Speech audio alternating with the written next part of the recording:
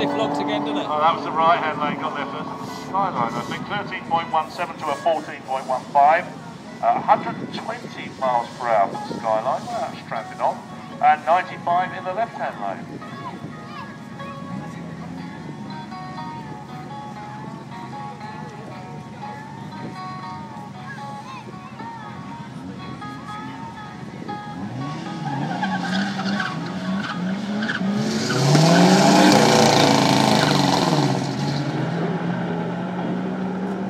Well,